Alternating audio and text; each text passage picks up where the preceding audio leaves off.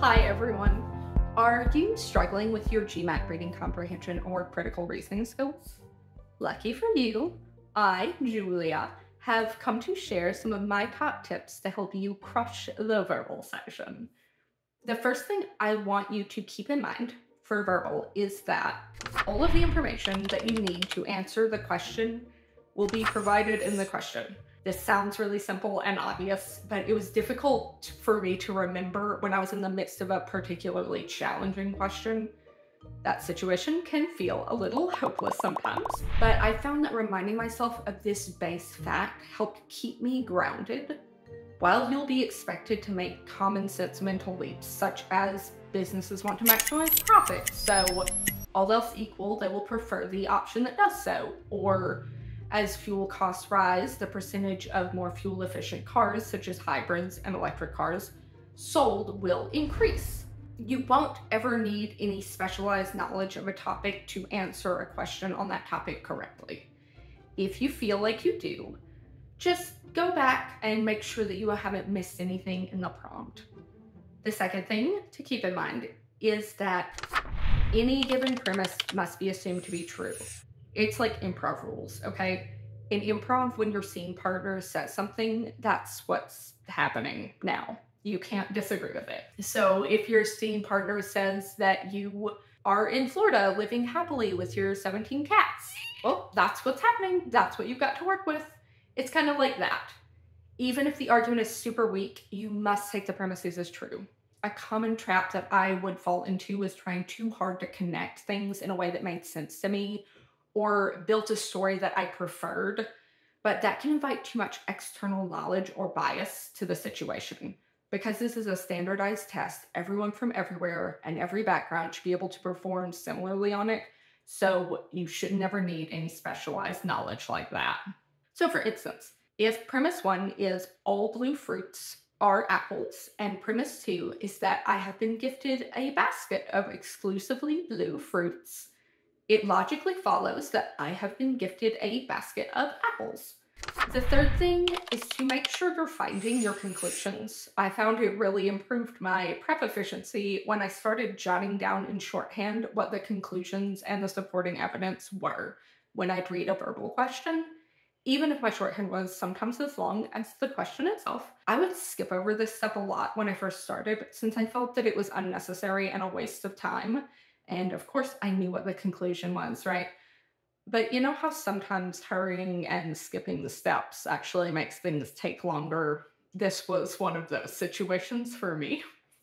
It turned out that I often had a vague idea of what the parts were instead of an accurate idea, and that would lead to me choosing the incorrect answer.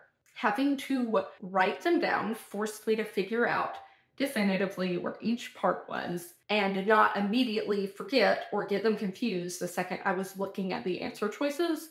Shockingly enough, that improved my accuracy.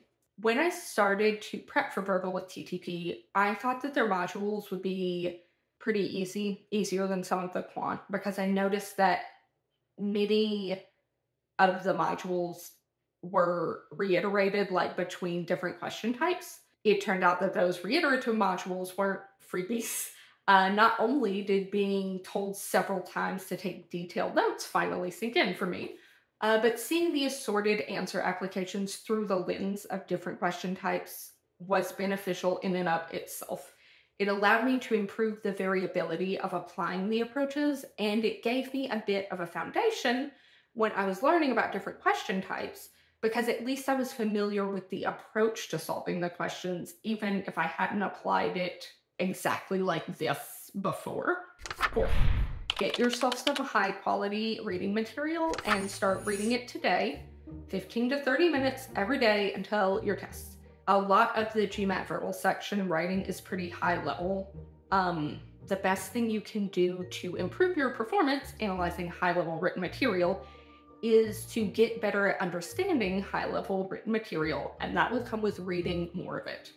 If you read some New York Times, Harvard Business Review, or Scientific American articles every day, as if they're GMAT passages, and you practice taking notes and identifying layouts, premises, and conclusions, you will get better at doing so. you will also get quicker at doing so. It was extra helpful for me to also read some articles that I wasn't inherently very interested in, so I could practice cultivating that interest since I didn't think I would only get personally interesting reading comp passages on my exam, which turned out to be true.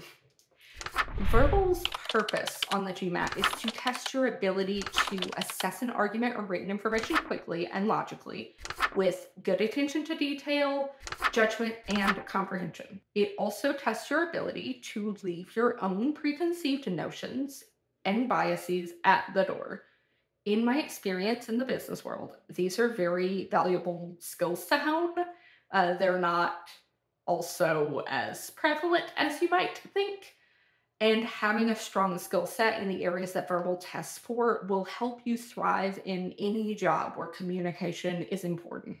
So, any job. Use your prep for this section as an opportunity to improve not only your GMAT score, but your value as an MBA candidate and as an employee.